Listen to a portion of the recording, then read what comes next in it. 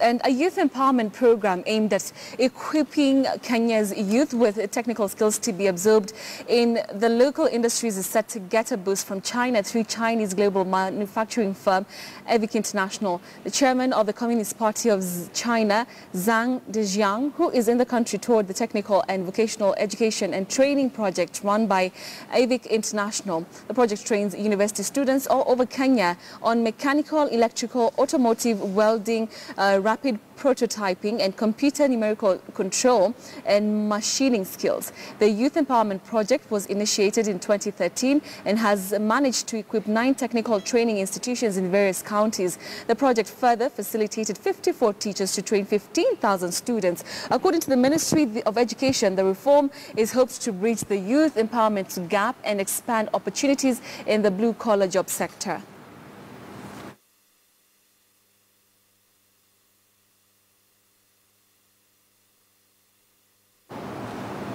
The China Roads and Bridge Corporation has launched a corporate social responsibility report detailing some of the social projects that have been executed through construction of the standard gauge railway project. Now, CRBC, the main contractor of the multi-billion shilling SGR project, has so far spent 2 billion shillings in CSR in setting up community projects to benefit the locals. Speaking during the launch of the CSR report, Transport PS Irungu Nyakera highlighted the need to balance public good and private interests citing that the SGR had put into account both ecological concerns as well as well-being of locals living along the corridor the project tra traverses. CRBC Chairman Wen Gang, who echoed the P PS's concern, noted that so far the SGR has seen about 12 billion shillings spent in land compensation to affected communities.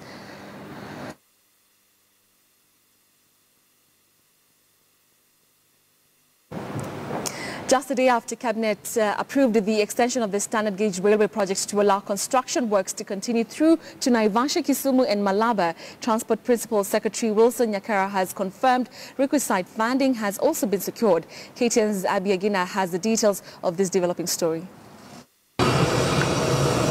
The ongoing works along Kenya's largest infrastructure project, the standard gauge railway, is fast taking shape. So far, at least 65% of the rail has been laid along the Mombasa-Nairobi circuit.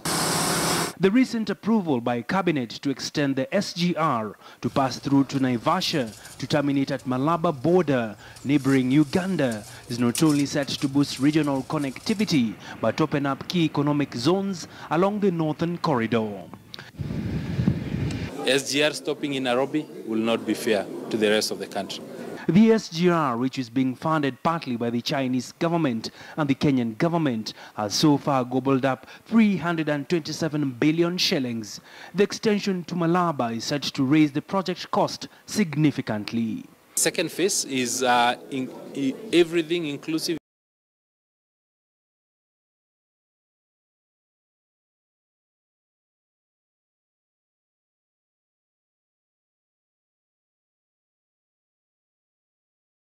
everything inclusive. With the Nairobi having a population of over 4 million, the highly dense populace coupled with construction of high-rise buildings could prove a challenge as to the route the railway will take. We will spend 30 billion shillings on SGR. If we were to compensate for a 500 meter corridor on LAPSSET for 900 meters, uh, 900 kilometers, we are talking of billions of dollars. For now, the government will be exploring affordable options that will go in sync with the development of the railway without getting itself into a fix, both from an environmental standpoint as well as avoiding a cost overrun brought about by relocation and compensation. Abby Agina, KTN Business. Tourism is a vital foreign exchange earner for Kenya, boasting of palm-fringed beaches and safari trails, but a two-year slump has forced hotels to shut down, cut 30,000 jobs, and set the shilling to three-and-a-half-year low, lows. Rather, the number of visitors to Kenya fell by 25% in the first five months of 2015, showing just how badly the industry has been damaged. However, all is not lost, as Tourism Cabinet Secretary Najib Balala says all is on course for tourism recovery. On Transformers. Abby Agina spoke to Balala, who says it will not be business as usual as he drives the tourism recovery agenda that includes product development, improving infrastructure, marketing Kenya on a global stage through innovative campaigns, as well as tapping into emerging markets.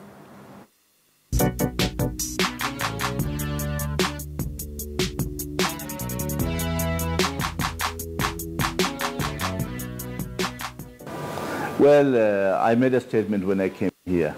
We don't want business as usual. We need to change uh, the way we do, we do things in, in tourism. If it's a matter of creating innovations in incentive, for example, I have to be the first one to, to lobby for it, get government approval. And luckily, I, I got a president who listens, who appreciates the sector, and endorses uh, the requests that we put forward by the, by the industry. I had to be the champion of it. And if it takes the minister to jump from the sky, yeah, to encourage domestic tourism and also to portray Kenya in a fresh look, why not? I took that, I took a risk. I didn't tell my wife about it before then, but it was exciting. And we have more than just beach and safari.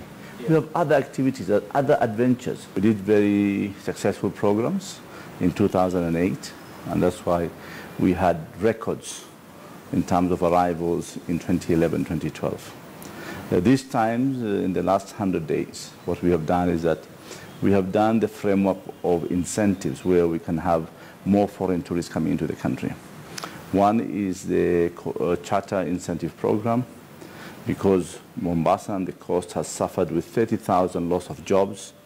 Hotels have closed.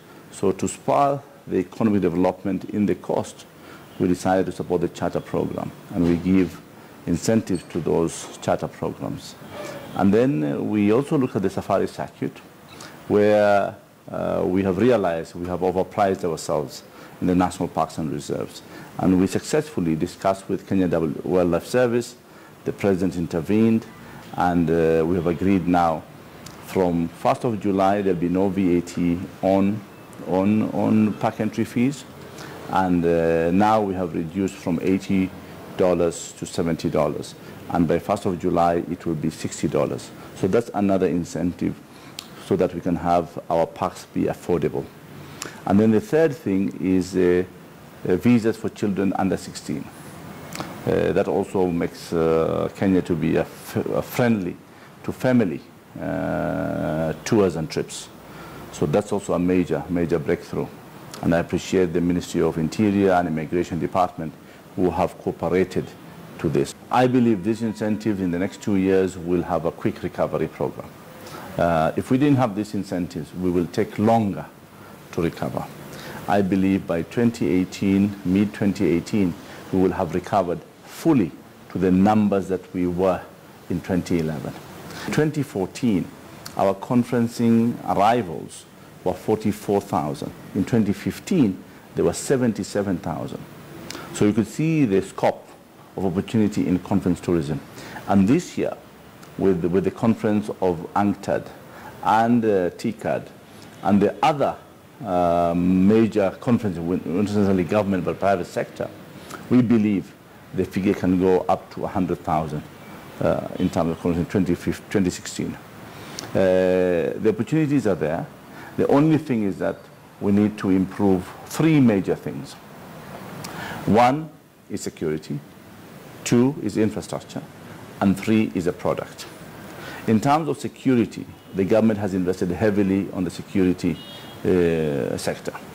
We have invested over 200 billion Kenya shillings, that's almost above, almost 15% of our, of, of our expenses of government. Uh, we have bought new vehicles, 2,500 vehicles, 10,000 recruits, more equipment, armored equipment uh, for the police. So, and training, capacity building in terms of addressing the issue of terrorism and other crimes. So we've invested enough or a lot, uh, again, into, into in, in security. The second one we have invested is, as government, we have invested in infrastructure, which is the roads, uh, particularly in the coast which have been neglected and for a long time no investment has been done in infrastructure. The issue of the ferry and its efficiency, the President visited there, took action. There's been improvement in terms of efficiency The government is now going to buy two new ferries by end of this year. And then a plan for a long-term solution, which is a bridge, is being designed currently. And then also, the most important road that is uh, hampering the safari circuit is the Narok uh, Masai Mara road, which uh, again, uh, the, the, the, the dispute about who's supposed to invest into it, we have resolved with the Ministry of Transport that the government will do it, and then those other issues will be resolved later. Because that is a main entrance into uh, the national park. And, and you know, Masai Mara is an important national park.